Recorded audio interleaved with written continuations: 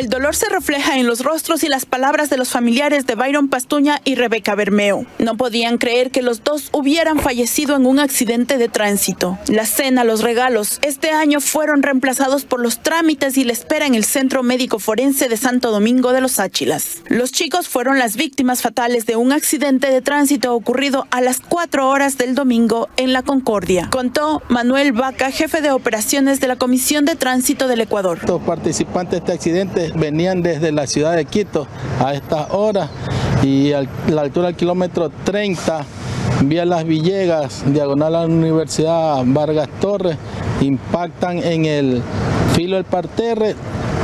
Producto de esto salen disparados y se estrellan contra una señal de tránsito, la cual la sacan desde su base. Los familiares de Byron Pastuña fueron los primeros en enterarse. La policía logró contactarlos utilizando el chip del celular y les informó del fatal desenlace. Ellos ubicaron a la familia de Rebeca, aunque al inicio hubo confusión y no sabían lo ocurrido. Lo que tomaron la decisión de venir a pasar por acá ese día, yo qué sé.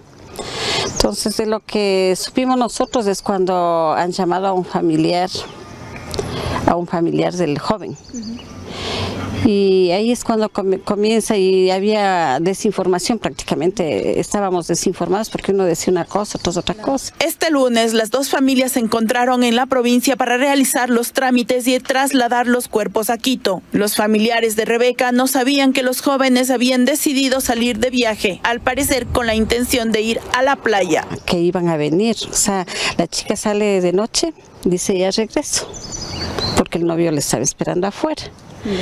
Entonces nosotros, o sea, la mamá no, la mamá no sabía nada.